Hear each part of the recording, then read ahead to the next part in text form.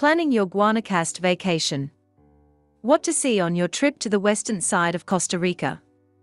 After landing at Liberia's Daniel Oduber Quiros International Airport, there is no shortage of variety for those seeking relaxation, adventure, and every preference in between. Careful planning enables you to cover a lot of ground in the space of one week. Costa Rica's northernmost Pacific coast is bordered by Santa Rosa National Park, just a short drive north of Liberia. It is one of the world's most important protected tropical dry forest habitats, and also a storied battleground site. Not far northeast of Santa Rosa is Guanacaste National Park, within the same protected dry forest and wildlife corridor connecting with Rincon de la Vieja National Park to the southeast.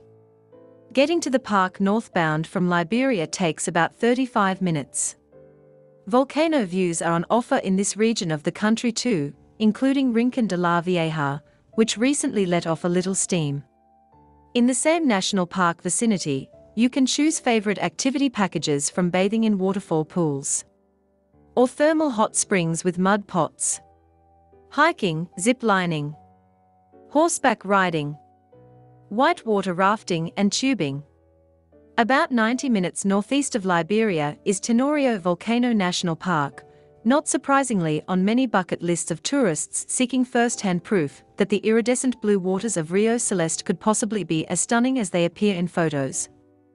Not far from the park is the town of Bijagua, where the privately owned Bijagua Rana's wildlife haven enchants visitors with an astonishing array and density of wildlife species encounters, including sloths.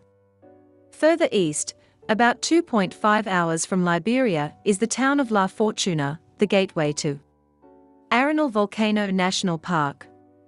Although spontaneous options for sightseeing and adventure are indeed available, it's advisable to map out your stay ahead of time. This is Costa Rica's largest natural playground. Arenal excursion combo packages are available to fit most schedules. Canyoning down waterfalls, river cruises, fishing, kayaking, and stand up paddle, the water sport choices alone are staggering in number and location. On some counts, Arenal visitors can find no less than 150 different types of activities to satisfy everyone. Monteverde cloud forest jeets year-round moisture that contributes to its misty fairy tale ambience and its biodiversity fame. Birding and wildlife buffs never leave disappointed. The fauna is amazing with its proliferation of exotic ferns, mosses, and more than 500 orchid species layering the treetop vistas, is like wandering through a sky-high greenhouse. The canyon views from hanging bridges slung up to 200 feet above the ground are breathtaking. Guanacaste is home to several inland national parks east and south of Liberia. Palo Verde National Park thrills countless boatloads of visitors daily on trips down the country's third largest river, the Tempisque, emptying into the northernmost Gulf of Nicoya waters. The home for many crocodiles. Barra Honda, just east of Nicoya, is known for Costa Rica's most spectacular cave. Diriá National Park, south of Santa Cruz, is one of Guanacaste's best kept secrets, as a protected ecosystem for more than 380 tree species, as well as rare and endangered bromeliads, cacti, and orchids. With urban tourism having a special Guanacaste flair in this region, the Howlers Online Day Trippers Guide at www.howlermag.com can help you enjoy highlights of Liberia. Nicoya and Santa Cruz. The artisan village of Guaitil. Filadelfia's giant lizards. And coastal playas del Coco. Pure Gold Coast. And from there down the entire Pacific coastline, Costa Rica offers an incomparable selection of beaches within close proximity to each other but with none being exactly like any other. Vibrant Playas del Coco has grown comfortable with its ever eclectic appeal to locals and visitors.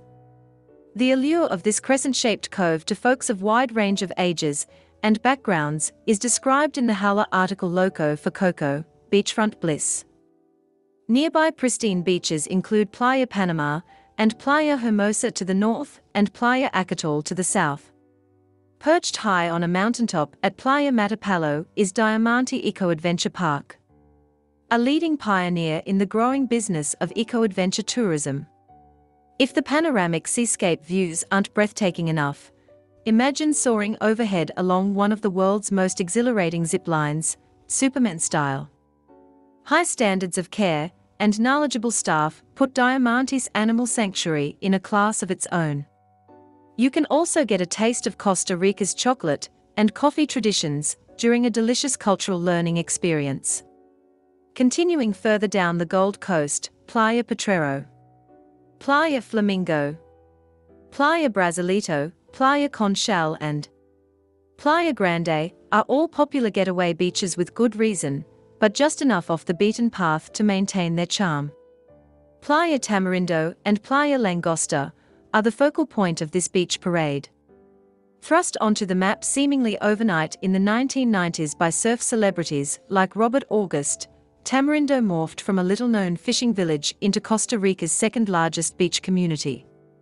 In addition to the concentration of tourist driven storefronts, resorts, eateries, nightlife, and commercial activities, easy access to attractions such as zip lines, horseback tours, and of course, surf breaks have contributed to the community's vibe. Nature, solitude, and wellness. Barely 30 minutes away is Playa Avellanas, where surfers, foodies, and farmers converge with beachgoers preferring uncrowded stretches of sand and playful waves. Another favorite coastal antidote to hustle and bustle just a bit further south are the sleepy Nandamojo Valley beach towns of Playa Negra and Playa Junquillal. Both are small, but markedly international communities of nature lovers and solitude seekers.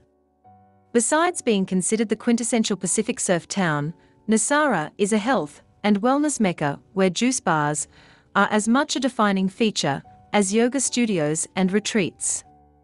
Located in Nicoya's world-renowned Blue Zone, one of just five such regions in the world where longevity past age 100 is not unusual, Nosara actually encompasses the whole area between Playa Nosara to the north, the small inland town of Nosara, and Playa Guiones to the south. Plan your trip to enjoy and see what you can. Costa Rica offers so much, it is difficult to see everything in a one week stay. Read more about Costa Rica. www.howlermag.com